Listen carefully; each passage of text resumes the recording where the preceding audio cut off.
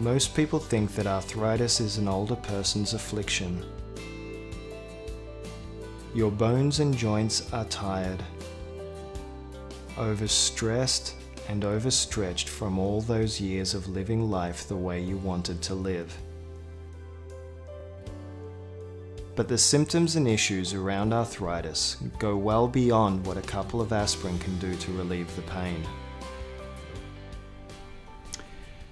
The importance of the research funded by the Arthritis National Research Foundation can't be underappreciated in the sense that this is research that has a tremendous impact on hundreds of thousands, if not millions, of young pediatric uh, patients, children with rheumatoid arthritis, very severe form of the disease that have to grow up with this. And we're looking for cures and treatments for these individuals. In fact, one in five Americans suffer from some form of arthritis. It's a stealthy, creeping giant that affects practically every American family today. Probably the worst news I've ever received in my life was when I heard that my little sister had lupus, was advised not to have a child.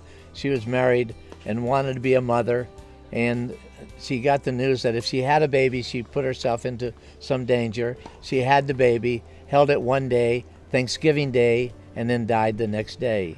And then I got the worst news of all. My own daughter uh, had lupus, and she was in serious condition, and she had terrible time for almost 10 years with lupus. And one day she called me and said, You know, Dad, I can't go through dialysis anymore. It's just, and all the problems I've had with lupus, it's just too much. So I'm going off today. I'll be dead in 10 days. And on the 10th day, she died.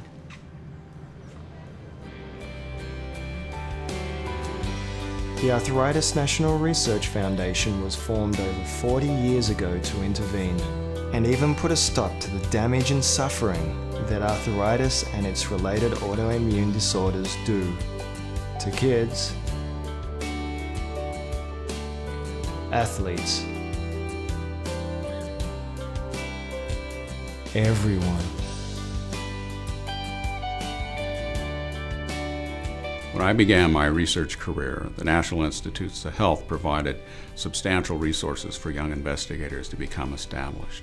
But over the years, um, that funding level has decreased, and it's very difficult for young investigators to get uh, grants when they initially start their research programs. And this is where the Arthritis National Research Foundation really has an impact, is in providing new money, funding for young investigators to get their programs set up and gather the data uh, to establish their programs so they can compete on a national level.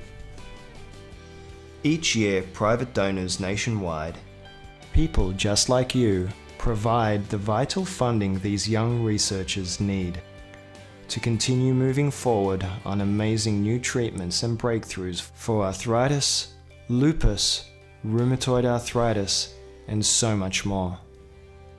The Arthritis National Research Foundation is an independent foundation. It receives no government support for its efforts to fund young investigators. It's very important then that individual donors like yourselves contribute and become part of the team. Help these young researchers translate science into cures